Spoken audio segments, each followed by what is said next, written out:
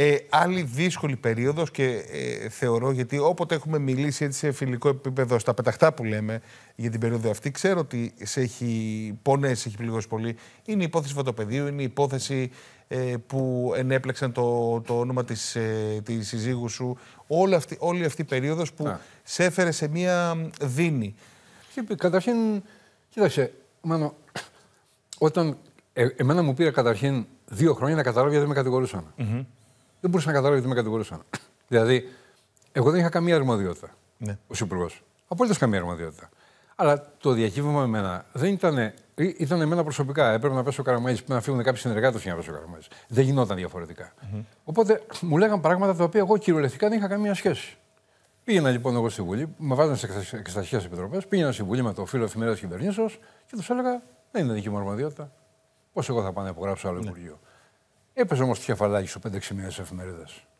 Μπλέκει η γυναίκα μου εξαιτίας μου στην ιστορία αυτή. Ταλαιπωρείται. Αρρωσταίνει. Ταλαιπωρούνται τα παιδιά. Δεν θέλω να μπω σε περισσότερες ναι. λεπτομέρειες γιατί είναι και ευαίσθητες. Εκεί είδα το πολύ σκληρό πρόσωπο της πολιτικής. Ναι. Και διαπίστωσα καταρχήν ότι στην πολιτική δεν υπάρχει η λέξη φιλία. Δεν υπάρχει φιλία στην πολιτική. Ναι. Στην πολιτική όλα είναι υποσυνθήκα. Όλα είναι υποσυνθήκα. Βρήκα ανθρώπους που δεν περίμενα ποτέ να μου σταθούν, μου σταθήκανε. Άλλοι άνθρωποι που τους είχα ευεργετήσει ήταν οι πρώτοι που με βρήσανε. Δηλαδή, Ναι. Ήταν μια περίοδος πολύ δύσκολη στη ζωή μου. Ε, η οποία με, δημιου... με οδήγησε και εκτός πολιτικής ανεφλόγου. Έτσι. Δηλαδή, ε, κυριολεκτικά ανεφλόγου και αυτό φάνηκε τα επόμενα χρόνια. Μιλάμε τώρα για χιλιάδες ελέγχους οικονομικούς, για χιλιάδες θεωρίες κτλ, κτλ. Τα οποία όλα αποδείχθηκαν βέβαια ότι δεν έχει καμία πραγματικότητα. Όμως ήταν μια περίοδος που λειτουργήσε πολύ κακά και οικογενειακά και προσωπικά και νομίζω ότι ειδικά στα παιδιά μου, αν τα παιδιά μου έχουν μια πολύ κακή εικόνα για την πολιτική, φταίει αυτή ακριβώς η περίοδος. Η, η περίοδος αυτή, από ό,τι καταλαβαίνω, λειτουργήσε όμως και ως συγκολητική ουσία για την ενότητα της οικογένειας. Δηλαδή, Ναι. Συγκρατήθηκε η οικογένεια συμπαχής. Ακόμα όταν ξεκίνησα αυτή η ιστορία, Ναι. εγώ φωνάξα τα παιδιά. Τα παιδιά ήταν μεγάλα. Με εξαίρεση τη μικρή δηλαδή, που τώρα είναι τρίτο ετή της νομικής στην Αθήνα, τότε που ήταν, ήταν μικρή, από την γεννήθηκε το 3 η μικρή, να καταλάβει τώρα.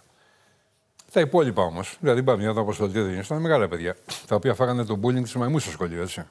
Να λένε τη μάνα τους λαμόγιο, τον πατέρα τους λαμόγιο. Μιλάμε για μια περίοδο τώρα. Σκληρές και τα παιδιά είναι και σκληρά, έχει υπόψη. έτσι. Ε, βέβαια. Τα παιδιά μεταξύ τους είναι σκληρά. Βέβαια. Λοιπόν, ε, φώναξα τα παιδιά τους, λέω: Παιδιά, ακούστε κάτι. Να ξέρετε, εγώ και η μάνα σας έχουμε τις συνήθειε μας καθαρή. Και στο τέλος της μέρας δεν θα υπάρχει τίποτα. Κοίτα, μάνο, αυτό ήταν μια πολύ καλή ψυχολογική βάση. Γιατί, να σου πω κάτι, άμα έχεις κάνει. Να μην σου πω τη λέξη που μου Ναι, ναι, λέτε. ναι, ναι. άμα, άμα δεν έχεις κάνει τη μακακία που Ναι, λέμε. ναι, ναι. Είναι μέσα πιθανότητα να σε πιάσουν. ναι, σωστό. Έχεις κάνει, θα σου πιάσουν το κατσίκι, ε, 50-50 είναι. Αν όμως δεν έχεις κάνει τίποτα, είσαι βέβαιος ότι στο τέλος της μέρας αυτό θα φανεί. Εγώ δεν περίμενα να κρατήσει τόσο πολύ καιρό αυτή η διαδικασία. Ναι. Δηλαδή, η συζήτηση ήταν το 9 παρετούμαστε από υπουργοί, γίνονται εξεταστικέ επιτροπές, όπου χρειάζεται πραγματικέ επιτροπές, εκαθαρίζονται τα πράγματα και επιστρέφουμε κανονικά. Δεν περίμενα εγώ ότι θα βγει μετά το Πασό, ξεκινήσει ένα, μια κυνήγη μαγισσών. Εδώ κυνηγούσαν, είχαν, είχαν βγάλει μια θεωρία ότι εγώ έχω offshore, έτσι βρήκαν τον Τζοχατζόπουλο. ναι, ναι.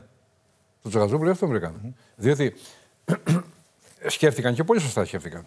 Ήταν το περίφημο νόμιμο και ηθικό. Ναι, αλλά πώς αναγκάσουν κάποιον ο οποίος έχει μια υπεράκτια εταιρεία να δηλώσει ότι έχει υπεράκτια εταιρεία. Τι είπαν λοιπόν, ότι όσοι έχουν ακίνητα σε υπεράκτιε εταιρείες και δεν δηλώσουν το φυσικό ιδιοκτήτη, η, η, η φορολογία του ακινήτου θα είναι περίπου, δεν θυμάμαι τώρα, 20-30, να συντορυφθεί. Ναι, ναι. ε, σ' αναγκα- σ' αναγκάζαν δηλαδή ή να πεις εγώ το έχω παιδιά, ή να βρεις κάποιον, δεν ξέρω, δεν ξέρω τι Ναι, ανάγκανε. ναι, Εμένα δεν με ενδιαφέρει αυτό, ποτέ δεν είχα. Έτσι ο Χατζόπουλος πήγε και πήρε δάνεια και έβαλε το γκουνιά του, δεν τα θυμάμαι τώρα πώς Και σήμερα η κουβέντα περί offshore έχει γίνει καθημερινότητα με τα πόθεν και όλο το υπόλοιπο. Ε, σήμερα είναι τώρα. Σήμερα... Όμως αυτή η περίοδος είναι μια περίοδος συγκλονιστική.